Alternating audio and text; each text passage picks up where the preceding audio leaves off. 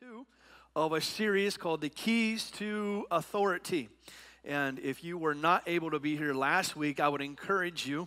I know I say this frequently, but I would really encourage you to go and watch the message online because uh, I feel like it was a game changer. And I feel like we had a lot of people that gave us a lot of good feedback on that. And so um, if you weren't here, uh, go online and, and, check that out. And the reason why we're doing Keys to Authority, because we, we gave you a chance to vote on what the next series was. And so you voted on authority. And so if you don't like this series, it's your fault completely. No, uh, it, it, was a good kickoff last week, and we'll do a few more weeks on this. And uh, wanted to say this though, just like these keys that I have in my hand, these keys give you uh, access.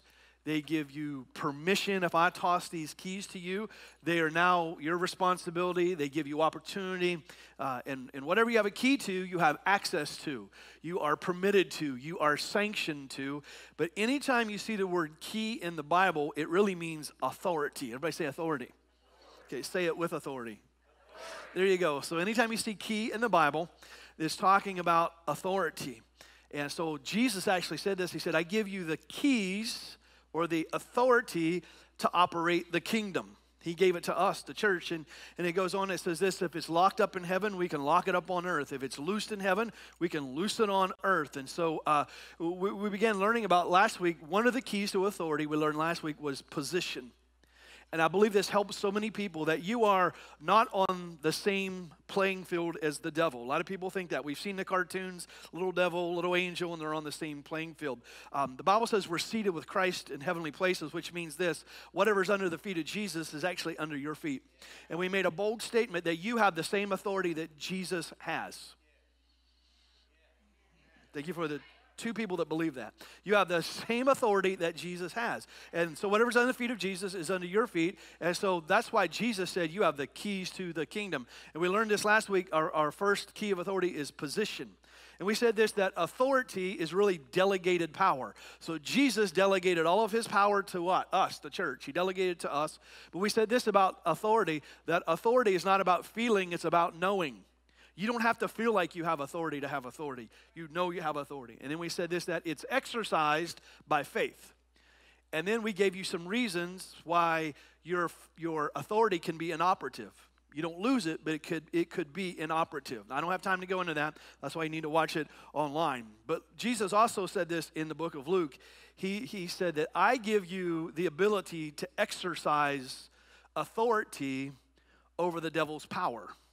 Actually, most translations say this. They say, I give you power over the devil's power. But that's not what it says. It says, I give you the ability to exercise authority over power. See, authority is greater than power. Are you with me? Because you have authority over a power. A policeman can't stop that speeding car, but he can go like this and change traffic. Why? Because he has authority to do so. So we learned about the whole key of positioning last week. And so I want to start off today, and I feel like this is going to really, really help you and I'm going to make a statement, and it may seem a little different, but here's the statement it's not always the devil that we have to gain authority over. Let it sink in for a moment. It's not always the devil that we have to exercise our, our authority over. Uh, uh let, me, let me teach you a principle that I haven't taught for a while and make it make sense, and we're going to dive into this today. Y'all doing all right? Okay. First Thessalonians chapter 5 verse 23 says this, I pray that God who gives peace will make you completely holy and may your spirit, everybody say spirit, soul, and body be kept healthy and faultless until Jesus returns. So the Bible's talking about three distinct dimensions the spirit, the soul, and the body. And he says this, this is said again over in Hebrews what God has said isn't only alive, but it's active. So whatever Jesus has said, it's alive and it's active. Anyone believe that? It's actually sharper than a two-edged sword. Look what it says. His word can cut through spirit, soul, and it says joints and marrow, but that's what? That's body. So the word cuts through that until it discovers the desires and thoughts of our hearts. So what scripture is teaching us is that all of us are made up of three dimensions the spirit, the soul, and the body. Let me put that in perspective. The Spirit is the part of you when you became a Christian or born again. That's the eternal part of you. And that part was immediately and completely changed. There are no defects in your spirit if you've been born again. But you also have a soul. Now, a lot of people, when they preach, they'll use soul and spirit kind of interchangeable. But really, the Bible teaches us that there's spirit and there's soul. Soul is when the Bible talks about your heart. So it's talking about a heart of a person. That's where your mind, your will, and your emotions reside. And then the Bible talks about your body. Now, your uh, well, first, 2 Corinthians chapter 5, verse 17 says this, that you are a brand new what? Creation. The old has gone away, and behold, all things are new. What that means is the inside man, the inward man, the spiritual man. The spirit is brand new, it's a brand new creation. But it doesn't tell us that the outward man was changed. So if you were blonde before you were born again, you were blonde afterwards, unless you chemically enhanced and made change, right? So if you were six foot four when you were saved, guess what? You're six foot four afterwards, right? So these things that are in our soul and our body didn't change, but your spirit changed. It's important for us to know and for us to get that principle. So your, your soul is for your spirit, your, or where your mind, your will, and your emotions are. So the outward man, the Bible said, is actually decaying, but the inward man is to grow stronger. But I want to focus this morning on the part the Bible talks about the soul. And I want to share uh, a key with you today with authority. But I was thinking about this a few years ago. It was in the morning, and I walked out to my truck. And as I approached my truck, I could tell that something looked a little different. I could see that the seat was flipped up, and I thought, I don't remember doing that. And as I got to the driver's side, the door was ajar. And I opened the door very slowly, and when I looked in my truck, Whatever was in my glove box was all over my truck, and whatever was in the console of my armrest was all over the truck. Someone had broken in during the night and just ransacked my truck. All they really stole was some loose dollars I had in the cup holder, and there were some CDs everywhere at that time. We did CDs. This was a few years ago, and they were mostly Christian CDs, so they didn't want those. So they they they just ransacked my truck, and I remember thinking at first I felt violated, and then I started to get really angry that someone had the nerve during the night to break into my truck.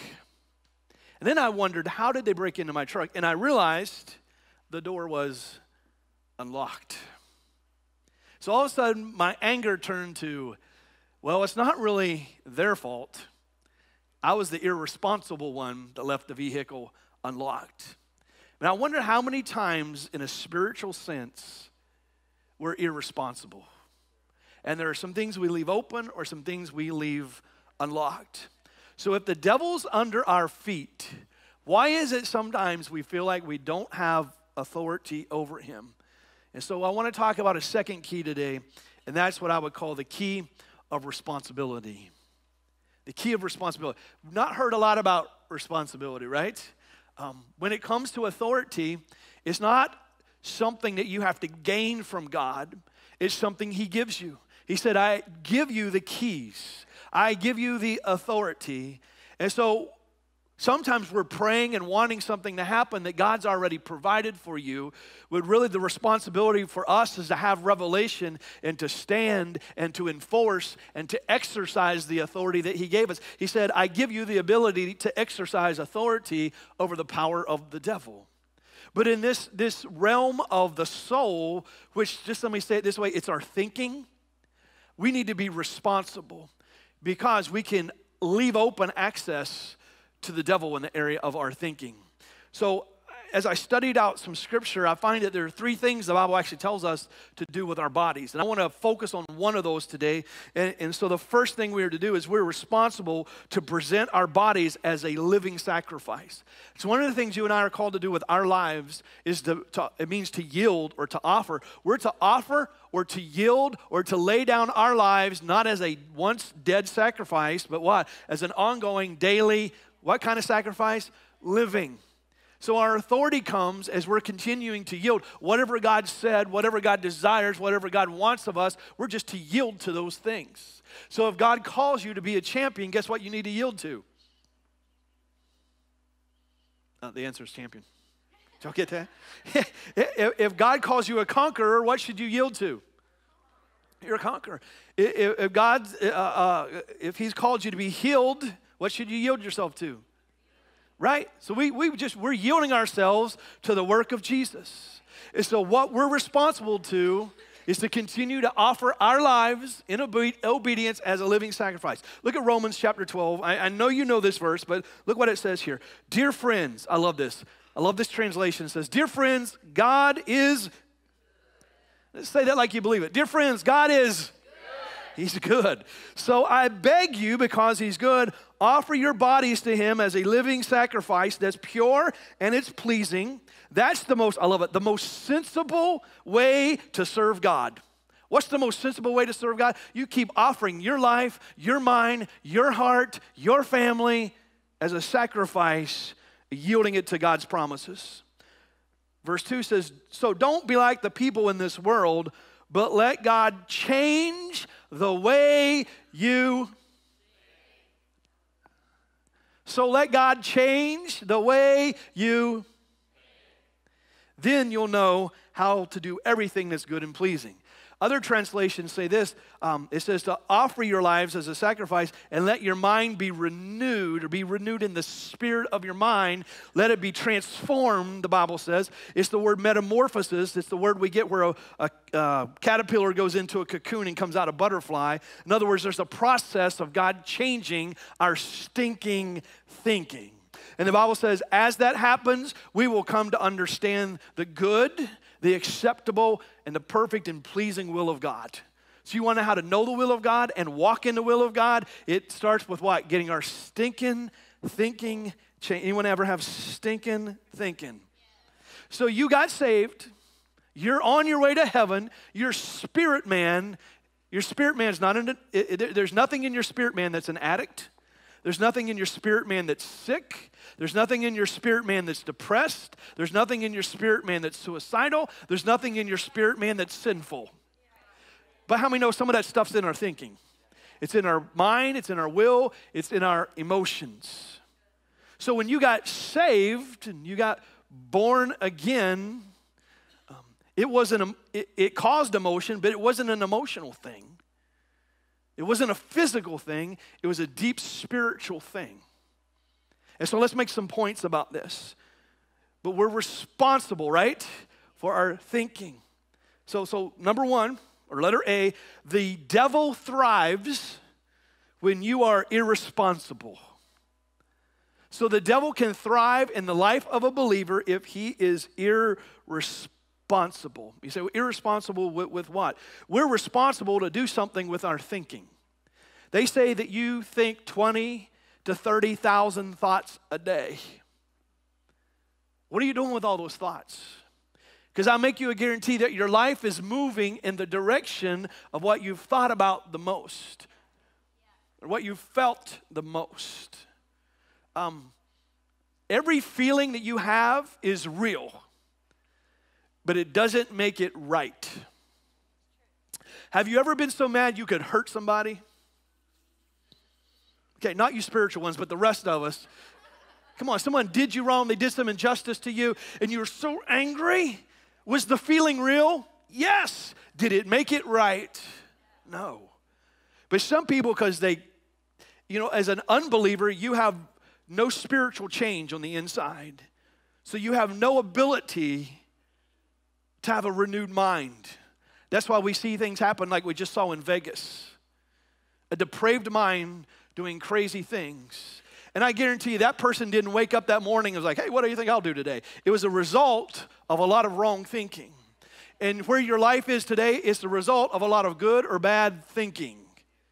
But the Bible says this we have the ability to have authority in the thought realm.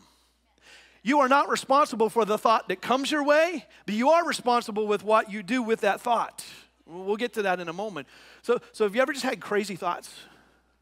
You ever walked into the bank, you're standing in line, and you, you see the bank security guard? He's like 12 years old, and you're like, I could knock him out, jump over the counter, and get that bag of money, and be out of here you're at the mall, you're in the store, and you see the, I'm sorry if you're mall security, but you see the mall security guy, and you're like, hmm, ain't no way this guy's gonna catch me.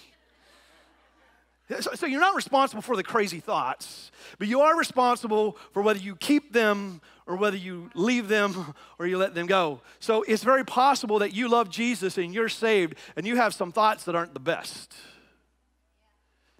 Because that's in your old nature. But the Bible says we change this thinking by the Word of God.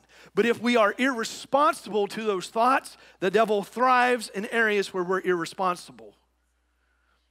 Number two, wrong thinking or feeling opens the door to the devil. So if the devil's under your feet, and we shouted about that last week, we have authority over his power. Why is it sometimes that it feels like we don't have authority? And it would be this because our wrong thinking or our wrong feeling actually gives them access. You may have left a door unlocked like I did in that truck. And we can feel violated and we can feel angry and we can feel frustrated, but we can step back and say, I left it unlocked. And I probably shouldn't say this because this is live stream, but there have been too many mornings where I cannot find my keys. It's, it's an ongoing thing. I actually have a little thing where I can push now and my keys beep, right? Because it happens all the time. But I've, I've just walked outside to my, to my vehicle and realized that guess where the keys are? Right where I left them, in the ignition. I've actually walked outside and my door be wide open before. Um, so if something's missing in my car, that's gonna be one of you guys. But think about I left there, I left access. And I thank God no one's ever went joyriding or stolen it or something like that.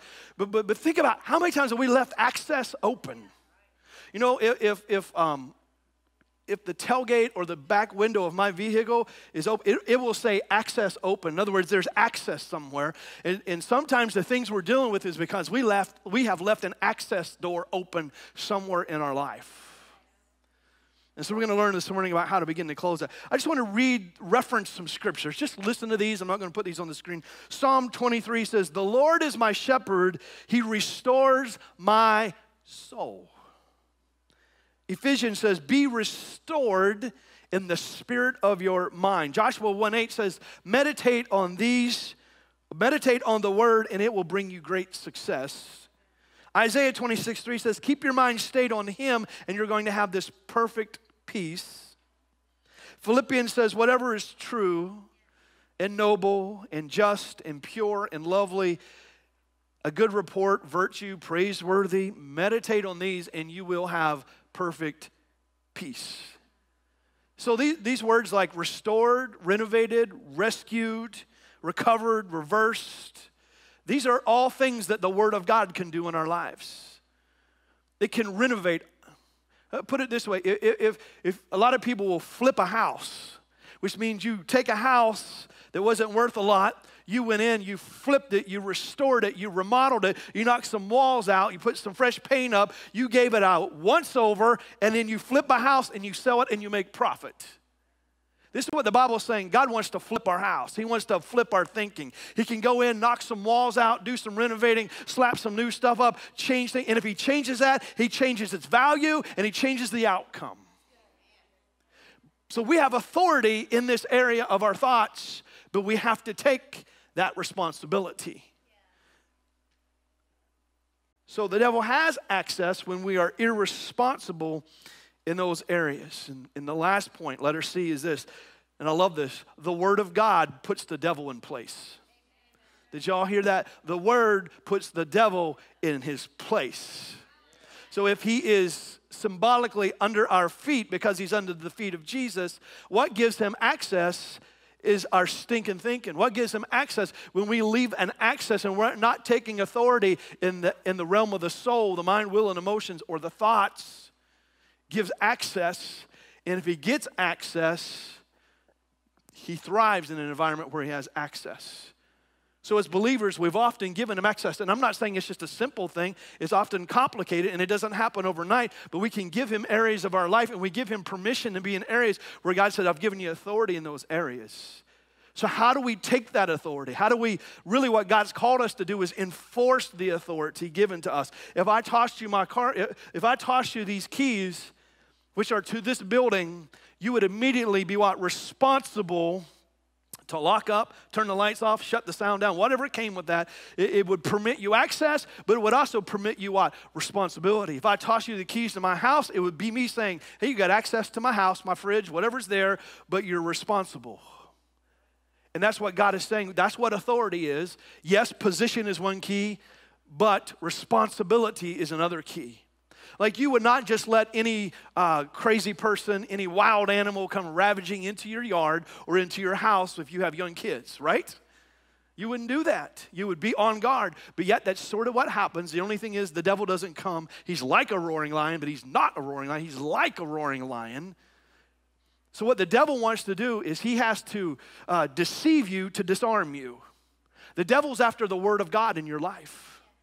But, the, but he, because this, the Word of God puts him what? In place. Let, let, let's read a scripture, and it's one that everybody knows.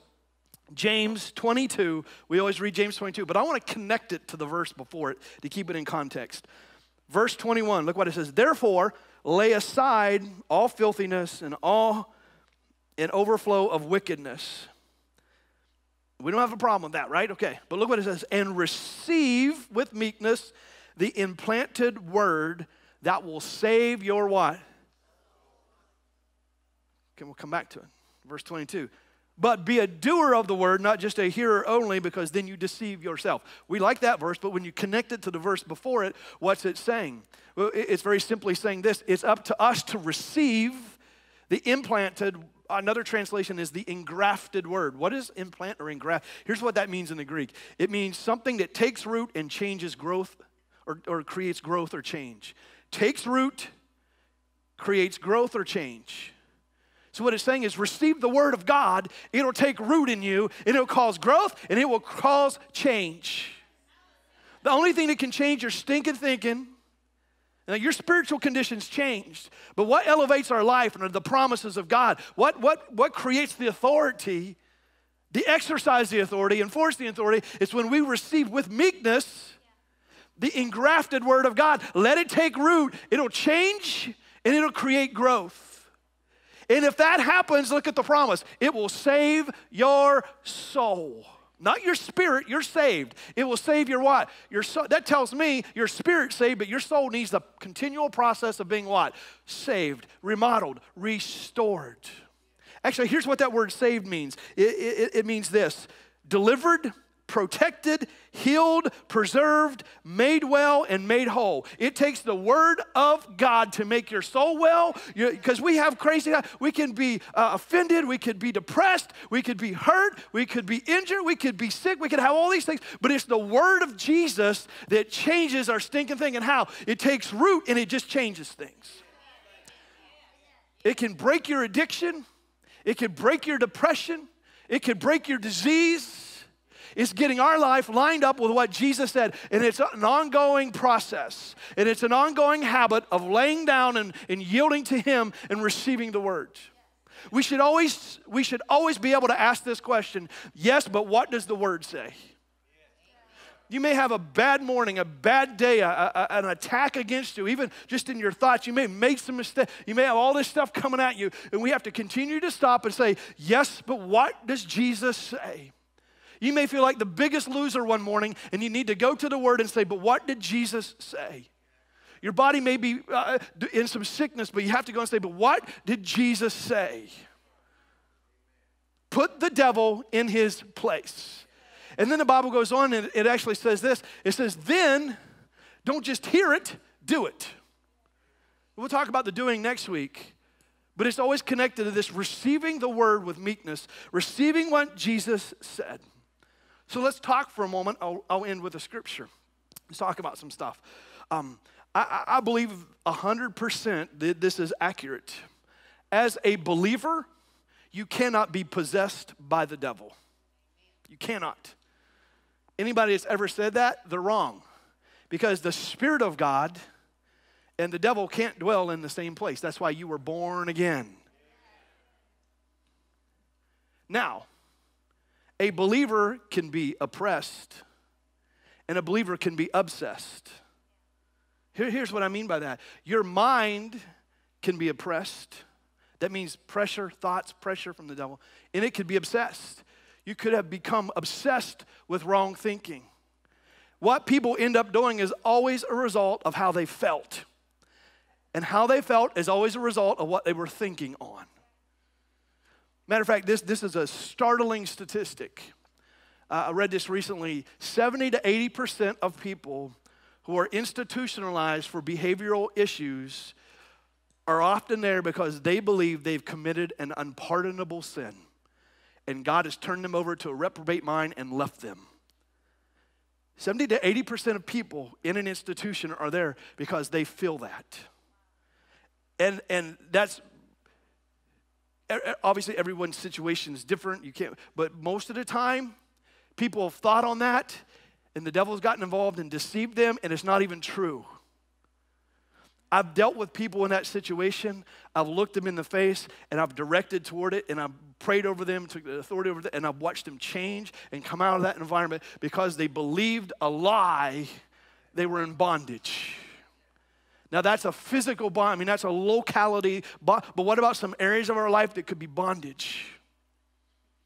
You could be obsessed with some things, some hurt, some offense. You could be obsessed with some wrong thinking, depression, sickness, whatever it might be. If it's not what Jesus said, it does not have to stay. It needs flipped. Are y'all getting this? Because you're really quiet. I don't know if you're like, eh, I don't know, about, or if you just taking it. Are you taking it in? I did. I did pray for receiving ears, didn't I? Okay. I'm going to pray for some amening mouths. Okay. So, uh, so we, we, we, we, we get to this place where we're just thinking wrong. And whatever we yield to will determine the degree of the devil's influence in our lives. What we yield to, we serve. How, how about this one? Fear. Some people make a mistake and they say this, well, just this, I just have so much, just emotional fear. It's an emotional. Here, here, here's why that's not true. The Bible said, I didn't give you a spirit of fear, but of peace, love, and a sound mind. So it's not an emotion, it's actually a what? Spirit. But you believed it's just part of your nature. You believed it's just part of your emotional makeup, and you've allowed fear. There's probably an access point somewhere where the devil got fear. This is why I say we got to keep asking ourselves, what did Jesus say in here about these things? Because the Bible says this every promise that's in here, it's yes and amen. But the devil will try to deceive you to talk you out of the promises of God. You don't feel you're good enough. It's not for you. It's not that. You're not this. It's not working for you. Not going to work. Not going to break through. Not going to. And he, he, he, here's the deal. The Bible says the devil is the father of all lies. He's a great deceiver. That's how he works. Now, he can't come up and be like, lie, lie, lie, lie, lie, but he will deceive you, usually through the realm of your feelings and your thoughts, to get the word from you. So you can see Jesus said it, but I don't feel it. Well, your feelings need to follow your faith. You don't need to let your faith follow your feelings. So, Pastor, if I'm getting this right, you're saying a lot of this comes down to my thoughts. It's exactly what I'm saying. But we've made it about our feelings. Because the devil works in the five senses. And he'll work in the realm of feeling. Now, I'm not saying they're not right or that they're not real. I'm just saying they're not always right. But see, the Spirit of God works in a sixth sense that a non believer doesn't have. It's called the faith sense. It's when you reach into the promises of God and you grab a promise and though it may not be seen in your life, you begin to declare it because Jesus said so, and you keep declaring it, and you keep declaring it, and you keep prophesying it, and you keep declaring it to your life. And if you know there's some areas of your life that don't line up with what Jesus said, don't start stroking those feelings. Look in the mirror and say, But this is what God said. Everything that says you can't, you look and say, Well, He said I can do all things through Christ who strengthens me. Every time you're feeling the sadness and depression, and it, it, it, I'm not saying just a bad day. I'm saying if it's a season, you need to look in the mirror and say, This is what God said. I'm going to believe what God said. What did Jesus say?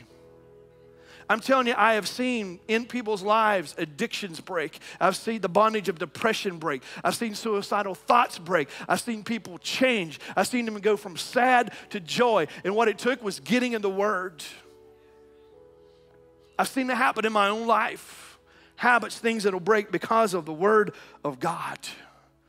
Now, if you really feel like maybe, maybe you're in a season where you're overwhelmed and your mind's overwhelmed and it's obsessed, uh, I would encourage you with this go and see what the word says, number one. And two, you may need to talk to somebody.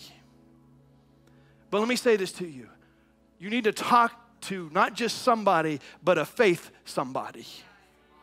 Because, see, there's some people you talk to, they'll get right down in the ditch with you and say, Oh, you're right, it's bad, but my situation was worse than this. And, well, I know there's a God, but we're just holding on to Jesus comes. And I, I don't know that, you know, that, that church, that, that's a word preacher, it's a word church. Yeah. Because this is what will save your soul. So I'm saying if you're going to talk to somebody, make sure they have faith if, even if you're going to a counselor or a pastor, but if you're sitting in a church under a sermon Sunday after Sunday, you better make sure it's a place of faith.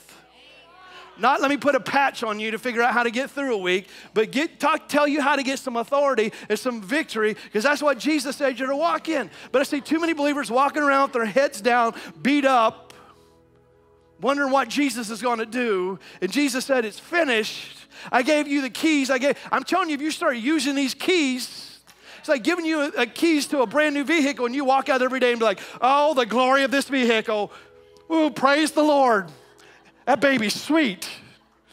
That's a fresh ride. Look at him rims. Oh, the stereo. I can just imagine what that's. I bet it's. You, oh, that's pretty. Look at pretty. That's nice. Praise you, Lord. Thank you for this blessing. And you never sat down in it. You never put the keys in it, and you never started it up. But it's pretty. It's praise the Lord. You've been talking about it, but you don't know what it's like. You're not walking in authority.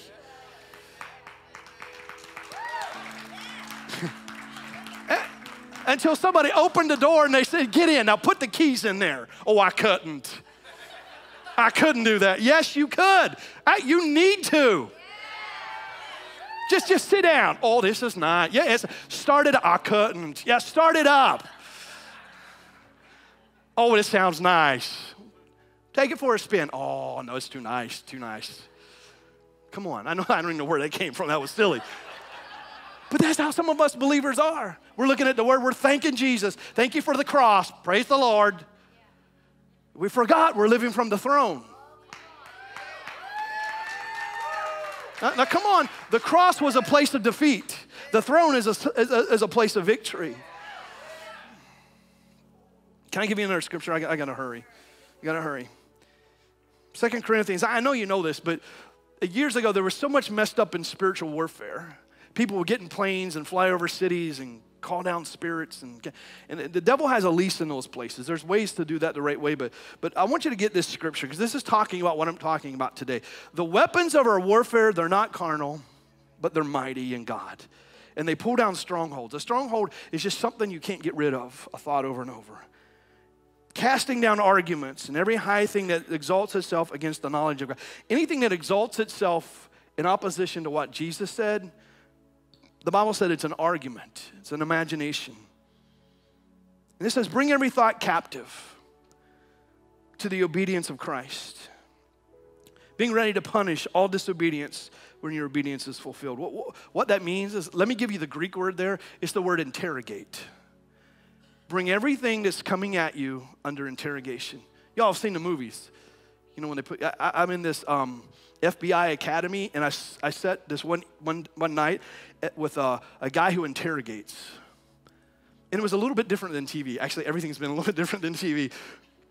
And so they say they'll just spend hours interrogating, and they're just patient because eventually the person will break and they'll say something.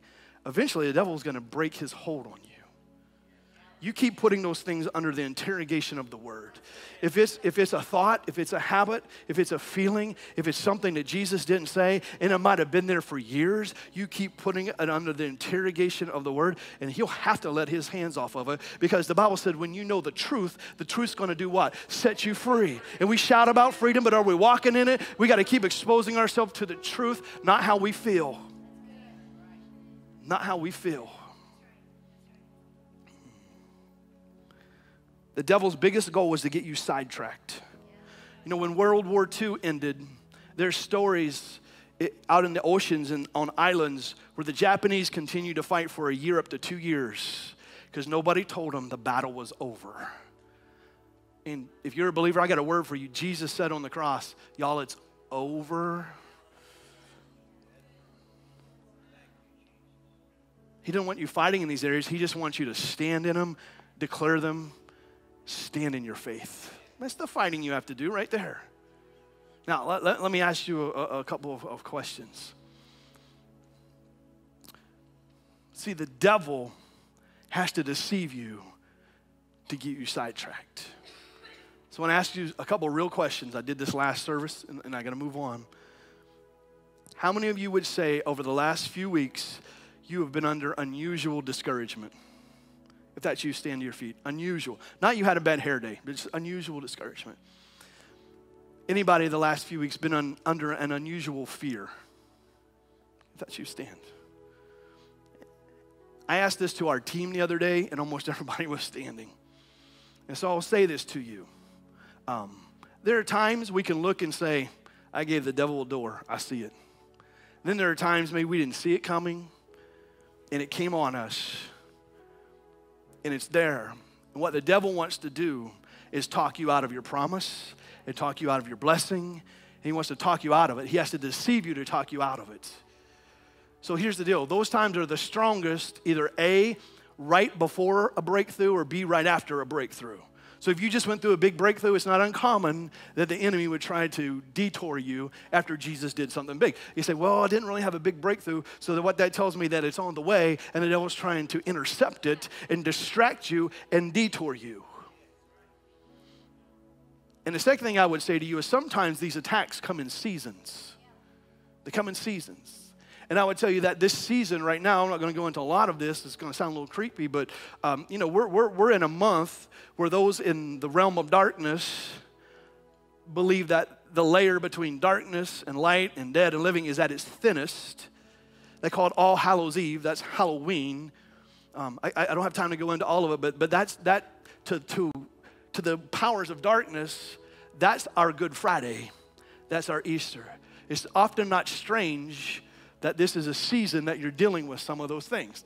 I'm going to go, we don't have time to go off on that, but I'm just saying to you that just because you're in a challenge does not mean you're going to lose. Every challenge is an opportunity for a champion.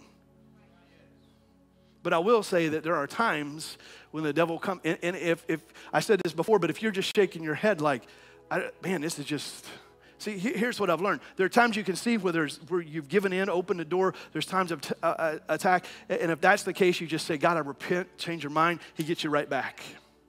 But then when there are times you just shake your head, be like, I don't get it.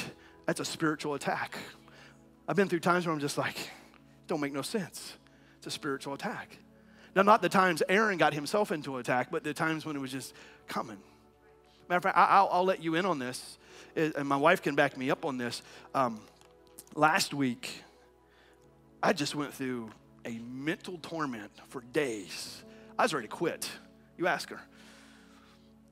Uh, and I didn't, obviously. And I'm speaking, I'm standing on some things. And she said, What are you talking about Sunday? I said, I'm talking about authority over the devil. She said, He doesn't want you to preach that. I said, Well, that makes sense. So we preached last week. It was good, wasn't it? So last night, I go to bed. Reason why this stool is here is because I went to bed last night. I was fine. I woke up, I couldn't see straight. The room was going like this. I'm like, well, I must have swept, slept wrong. so I get up. I can't even walk across the room this morning. I'm falling over things. I'm laying against the wall in the shower. Everything is doing this. She says, well, well what are we going to do? I said, well, you're either going to preach my notes or we're just going to get through it. And so I walked up here first service and everything's doing this. Um, and, and that's why this was here. I can't stay sitting on it, but I tried. And she said, What are you preaching on? I said, Authority, your responsibility, authority over your thought realm. She said, The devil doesn't want you to preach it. Now, just because I don't feel bad doesn't always mean it's the devil. But in this case, I believe it's true. My point is, as much as he didn't want me to preach it, he didn't want you to hear it. I got one more to go. And if, if they have to drag me home and throw me in the bed. We're gonna, we're gonna, we're gonna preach it because I want you to hear it. It's a game changer. It's a game changer. Let's all stand. Let's all stand.